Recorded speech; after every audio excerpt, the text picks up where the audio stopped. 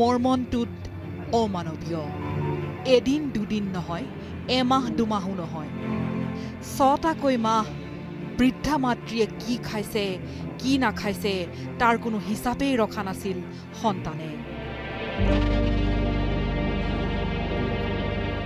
যোৰহাটৰ অনুপমা দত্তৰ মৃত্যুৰ কৰুণ কাহিনীৰ নতুন মূৰ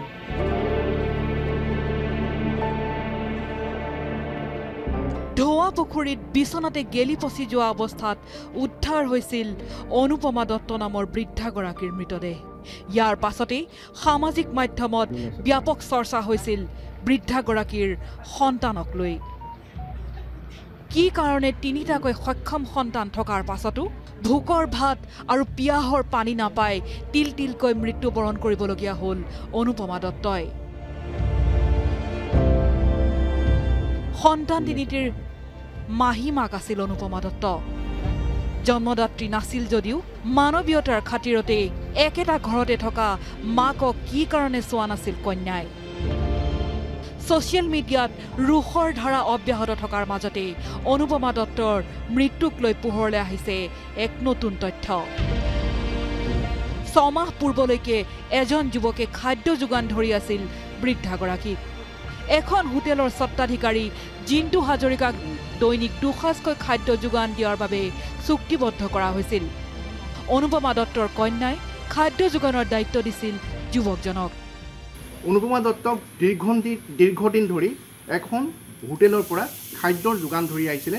জিন্তু নামৰ সমীপতে থকা বাহানাত থকা হোটেলখনৰ গৰাকীয়ে। কিন্তু খাদ্য যোগানৰ বাবে ঘৰত সোমাবলৈ দিয়া হোৱা নাছিল জিন্তুক খিৰিকীৰেহে খাদ্য যোগান ধৰিব পাৰিছিল জিন্তুৱে এনেকৈয়ে হোটেলৰ খাদ্য খিৰিকীৰে অনুপমা দত্তক যোগান ধৰি আহিছিল জিন্তুৱে ৰহস্যজনকভাৱে অনুপমা দত্তৰ খাদ্যৰ যোগান বন্ধ কৰিবলৈ দিছিল অনুপমা দত্তৰ সতীয়া কন্যাই। অৱশেষত সেই খাদ্য যোগানো বন্ধ কৰি দিছিলে মামণি দত্তই। মই সবিশেষ জিন্তুৰ পৰা জানিব বিচাৰিম কি হৈছিলে কেনেধৰণে সেই অৰ্ডাৰটো তুমি লাভ কৰিছিলা? আৰু পাছত কি হৈছিলগৈ? আজি এবছৰ এবছৰৰ পূৰ্বে মোৰ লগত মামণি দত্তই কণ্টেক্ট কৰিছিলে যে কৈছিলে তুমি এনেকৈ নিৰামিষ ভাত দিব পাৰিবা নি? মই বোলো ঠিক আছে পাৰিম। তাৰপৰা দুসাঁজ দিব লাগিব। ঠিক আছে পইচা পাতি কথাও পাতিলোঁ। তেনেকৈ মই পৰ্যায়ক্ৰমে খাদ্য দি গ'লোঁ। খাদ্য দি দি যাওঁতেও মাজতে অলপ অসুবিধাৰ সন্মুখীন হৈছিলোঁ। আৰু তেনেকৈ দি গৈ গৈ আজি ছমাহৰ পূৰ্বে মোক খাদ্য দিবলৈ বন্ধ কৰিলে। ছমাহ পূৰ্বে মোক এদিন ফোন কৰিলে যে তুমি খাদ্য যোগান ধৰিব নালাগে। মই কিয়? মোৰ কিবা বেয়া হৈছে নি? খাদ্য দিয়াত বা কিবা অৱহেলা কৰিছোঁ নি? তেনে সুধিলত ক'লে যে বোলে নহয় আমাৰ এই ৰিলেশ্যনৰ কোনোবা আহিব। দুদিনমান খাদ্য দিব নালাগে। মই ভাবিছিলোঁ দুদিনমান খাদ্য দিব নালাগে সেইকাৰণে তাতে তাৰপিছত সম্পূৰ্ণৰূপে বন্ধ কৰি দিলে? তাৰপৰা সম্পূৰ্ণৰূপে মানে এসপ্তাহ হৈ গ'ল দুসপ্তাহ হৈ গ'ল ফোন কল ৰিচিভ নকৰে হেৰি নকৰে। তাৰপৰা ভাবিলোঁ চাগে খাদ্য যোগান ধৰিব নালাগে আৰু। এদিন মোক ক'লে যে তুমি বোলে খাদ্য যোগান ধৰিব নালাগে। এই নতুন তথ্যৰ পৰা এটা কথা প্ৰতীয়মান হৈছে খাদ্য আৰু ঔষধৰ বাবতে অনুপমা দত্তৰ মৃত্যু হৈছে। আৰু মই তাত এটা পে'মেণ্ট পাবলৈও থাকিলে তেৰশ পঞ্চাছ টকা পে'মেণ্ট এটা পাবলৈও থাকিলে।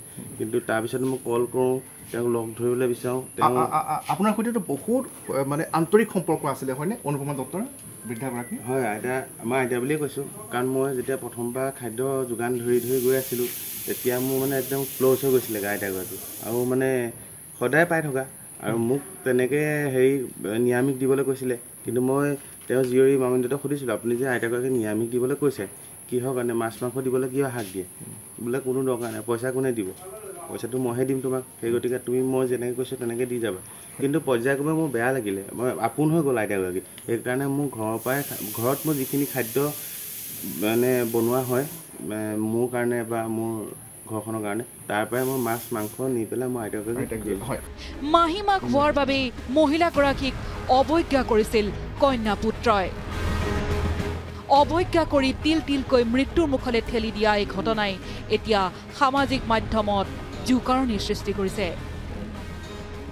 যোৰহাটৰ পৰা Gautam Bora news eighteen Assam north east.